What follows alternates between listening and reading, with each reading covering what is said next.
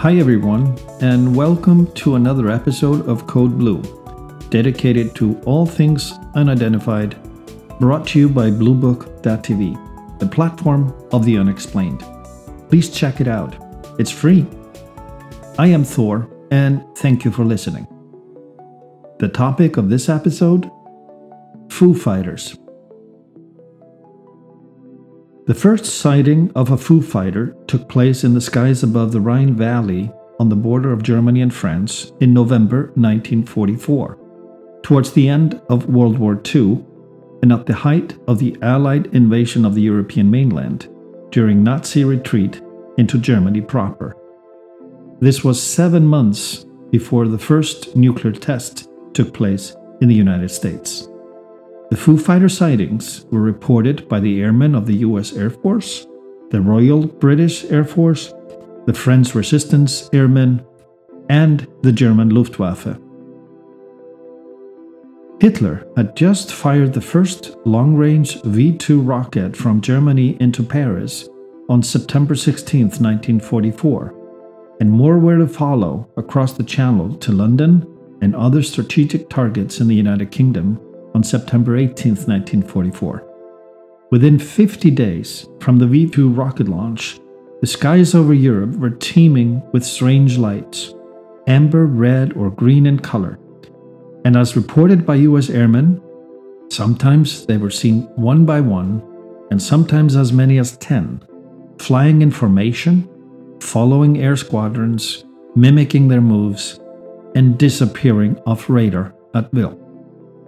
It is actually amazing that we have video footage of the Foo Fighters at all from that time, and each photograph is a precious piece of evidence.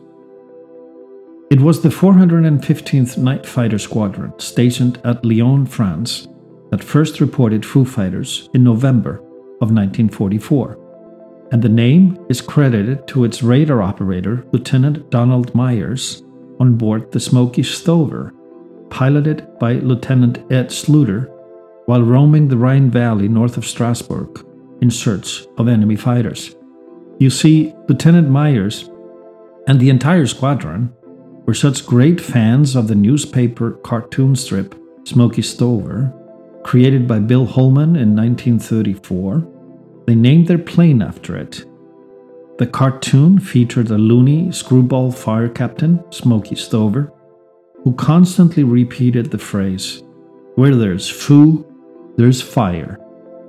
And while flying the skies over France Germany, the 415th saw foo and concluded, They must be fighters. Each side at the time believed the phenomena presented a new secret weapon by the other side. These lights were capable of moving at speeds much faster than anything known to the airmen at the time. The Foo Fighters stopped and turned on a dime, were not visible on radar or to the naked eye, and they appeared and disappeared at will. The airmen chose not to report them at first because they feared they'd be ostracized for such outrageous claims. But the Foo Fighters kept coming over the skies of war torn Europe, still experiencing intense fighting between the Allied forces and the retreating German Luftwaffe. On December 17, 1944, near Breisach, Germany, a pilot reported seeing six flashing red and green lights following him in formation and mimicking his turns. When he banked towards them, at only 1,000 feet in distance, he could clearly see they were glowing light balls unattached to any metal body or craft before they disappeared before his eyes. He was flying to their exact location coordinates, and they simply weren't there anymore. On December 22, 1944, two more flight crews reported seeing lights. One crew near Hagenau saw two orange lights inside a singular glowing ball, and they saw it rising from the ground up to about 10,000 feet before proceeding to follow the pilot and plane for approximately two minutes Thereafter, the lights moved away but kept visible distance for another few minutes. That is a long time to remain visible.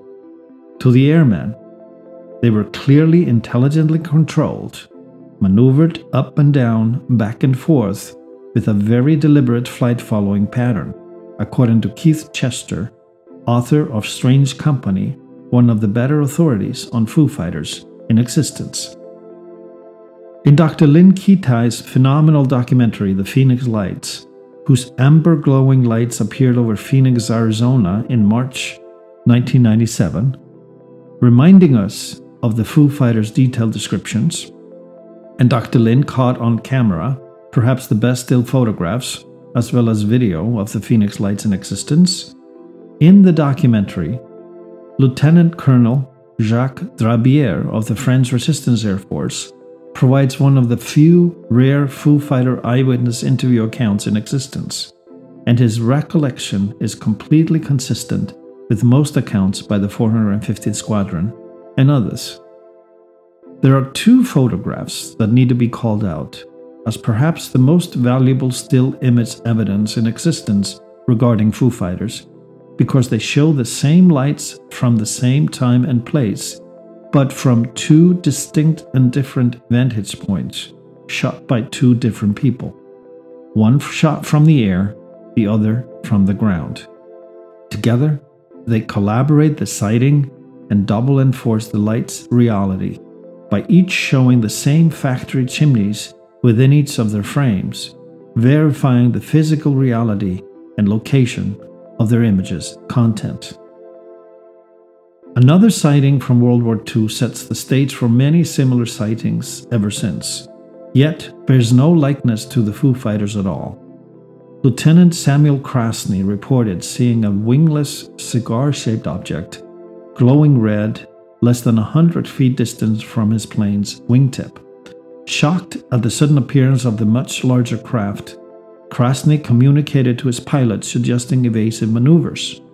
But they soon realized no matter how they turned the plane, the cigar shaped object remained within 100 feet abeam their wingtip. Other airmen reported Foo Fighters with absolute consistency in description, and it was during a New Year's downtime period of R&R that embedded Associated Press journalist Robert Wilson heard from the 450 Squadron firsthand about the Foo Fighters. And this started the public's awareness of the phenomena. A day later, in January 1945, articles began appearing in newspapers and magazines on both sides of the Atlantic, including in the New York Herald Tribune. What followed in response from US Army Air Command were a flurry of since to become familiar go to explanations. They were military flares, they were weather balloons, they were St. Elmo's fire. But the 415th Squadron brushed the explanations off as nonsense because the lights behaved differently, intentionally, flight followed, maneuvered intelligently, appeared and disappeared at will. Nothing like flare or balloon behavior. And they didn't look like lightning bolts either.